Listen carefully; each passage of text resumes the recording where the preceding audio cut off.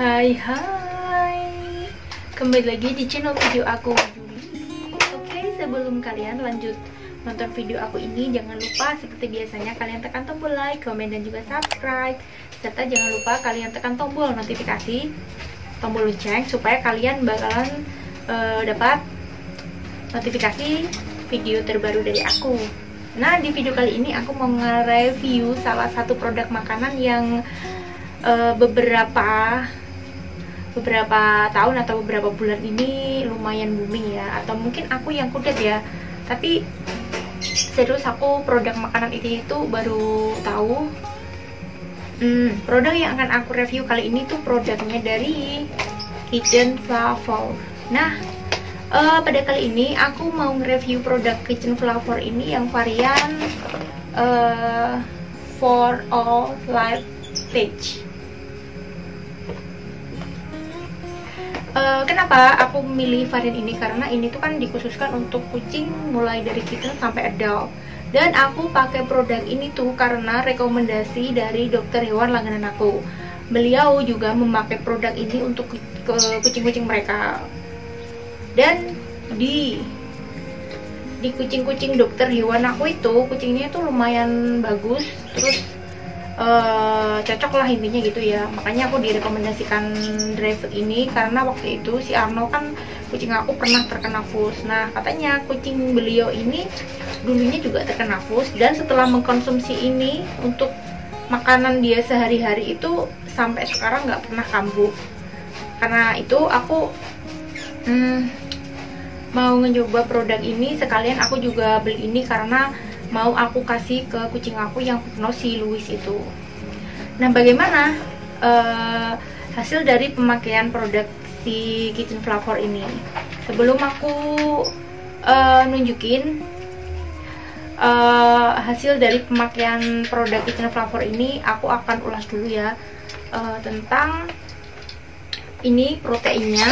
Jadi protein dari makanan ini tuh 31% 31%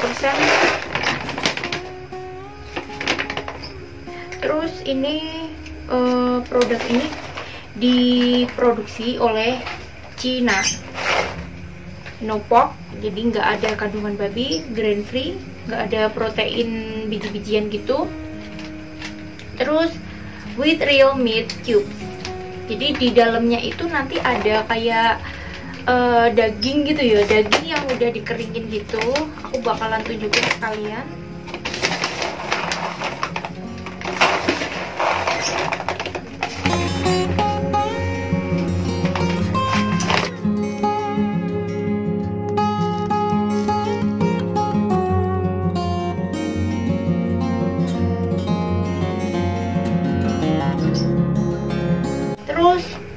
dari packagingnya itu aku suka banget produk ini karena di atasnya ini udah ada zipnya.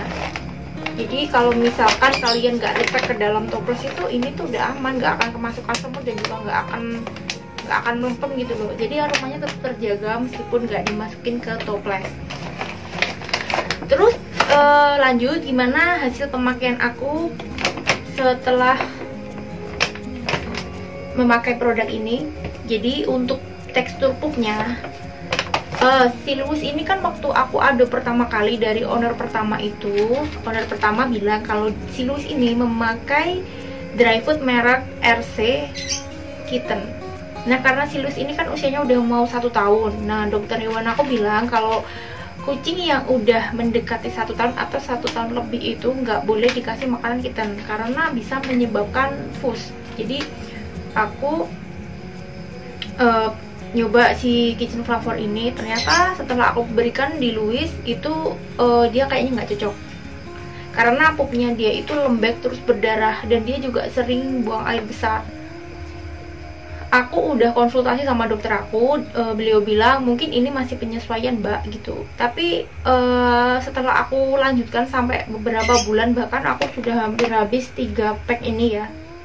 Itu nggak ada perubahan. Pupnya dia masih aja berdarah Nah sekarang aku masih mau cari-cari produk lain yang uh, mungkin bisa cocok untuk si Louis ini. Terus untuk kitchen flavor ini aku juga ber, sempat berikan ke kucing-kucing aku yang lain. Kucing-kucing aku tuh juga nggak ada yang cocok. Jadi pupnya itu semuanya jadi lembek. Terus si Arnold yang pernah kena fus itu aku memberikan kitchen flavor ini. Di hari pertama pupnya itu padat banget padat banget bagus teksturnya. Jadi udah hitam terus keras gitu ya. Tapi di hari kedua lembek lagi. Di hari ketiga terkadang berbentuk pasta. Jadi e, bentuk pupnya itu enggak enggak seterusnya bagus gitu loh. Jadi berubah-ubah. Kadang dia lembek kadang dia itu padat. Ada yang berbentuk pasta kayak gitu tapi ini aku masih memberikan ini kepada si Arnold karena dia kan maksudnya pupnya nggak sampai yang berdarah gitu. Sambil aku masih nyari-nyari produk yang cocok buat si Arnold ini.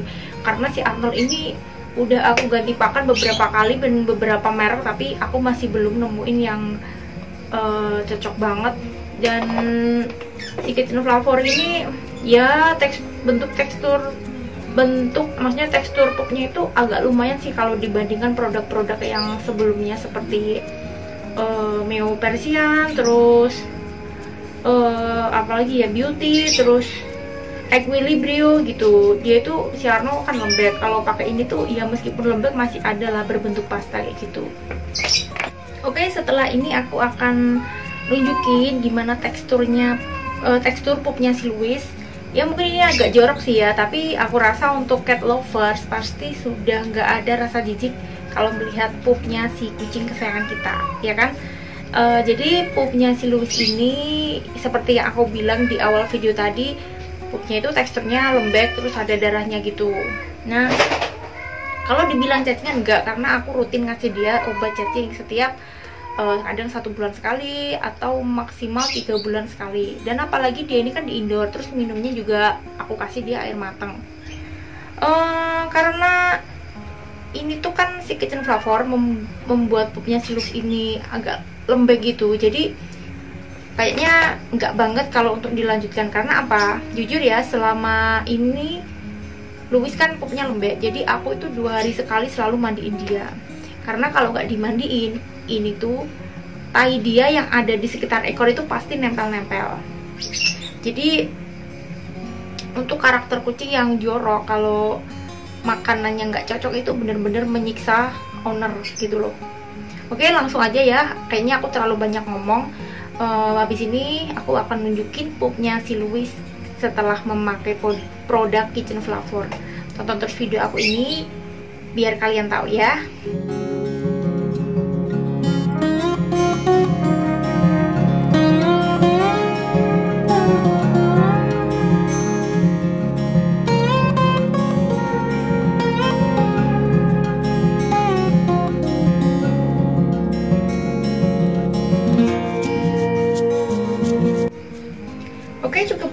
video dari aku tentang review uh, dry food kucing merek Kitchen Flavor